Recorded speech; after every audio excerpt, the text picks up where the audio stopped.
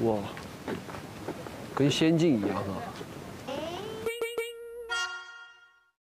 就跟极限挑战不一样。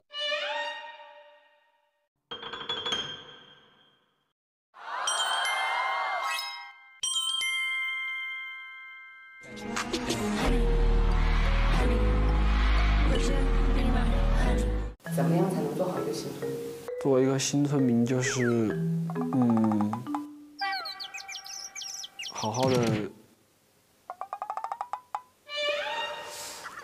做一个如何做一个新村。首先，我觉得要了解这个地方，然后了解这个地方的文化，帮助各种各样的人，才是一个好村民。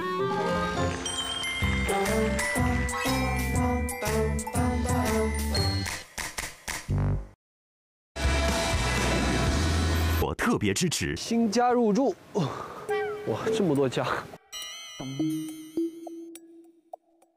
我找哪一家？我新家在哪啊？我新家在哪啊？我新家在哪啊？新家在哪啊？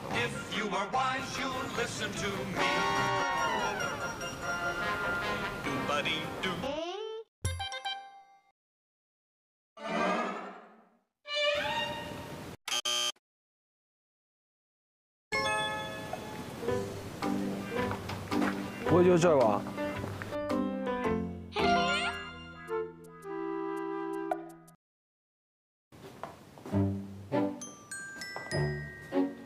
哇，这么厉害！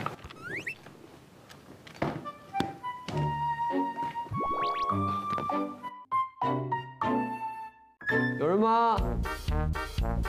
有人吗？有人吗？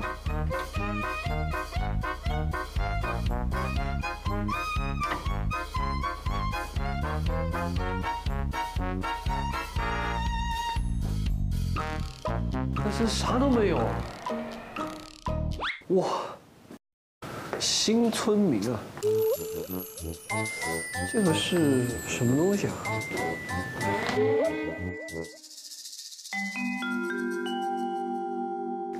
完成全部题目后，可拆开封条。佤族的火塘每年只能熄灭一次。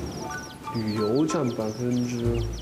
萨拉凡的作用是佤族民间吹奏乐，主要分为二零零六年五月沧源。完成了，再玩一下自己的乐器。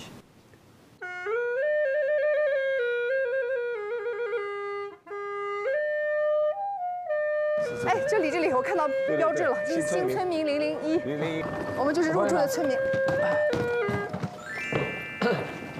还有人吹乐器给我们，哎，一心，Hello Hello，你好，这刚是你在吹吗？对啊，我们现在都是这个新村民，然后每个人都会有一个袋子，你们可以把这个袋子打开，然后做一下考卷，然后把考卷做完了可以交给我，可以交给我。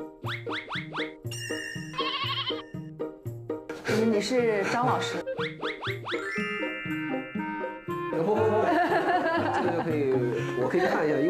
在这边稍微做了一下佤族的功课。那我们就随意拿一个，都可以，都可以。这也是我们今后几天的工作袋。我的袋子在上面。呃，你的袋子在上面。对，我拿下来吧。你们先做题吧。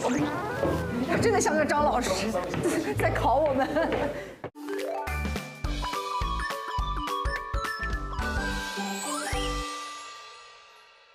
佤族中牛头是什么象征？哎，这个在路上，这个路上，我们袁总刚刚给大家介绍了。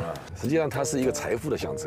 啊，他说是财富，你写的是什么？我写的也是财富。恭喜答对了。沙拉，沙拉，吃喝拉撒。我觉得正确答案应该是约会的地方。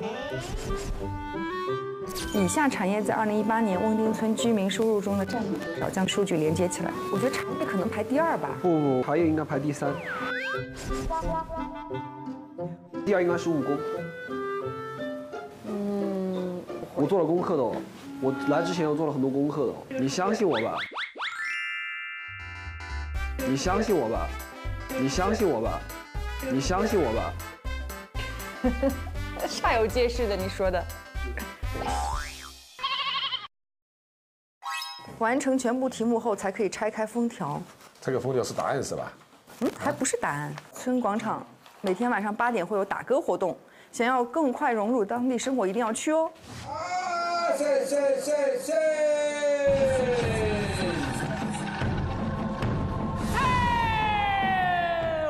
八点，每天晚上八点。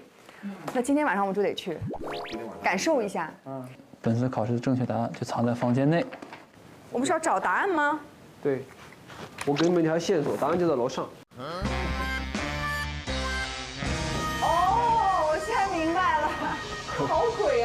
他在我们不在的时候，他已经去过二楼了。哎，家族兴盛应该就是财富。答对了，是不是？对，其实是差不多是这个。好，我们来看看你谢谢血脉的成果。